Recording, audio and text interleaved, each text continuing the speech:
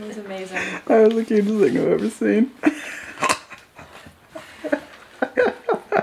Thanks for watching. If you like this video, please click the subscribe button so you never miss a video from the Pet Collective. Can somebody give me my bone and a glass of water? Maybe a tissue.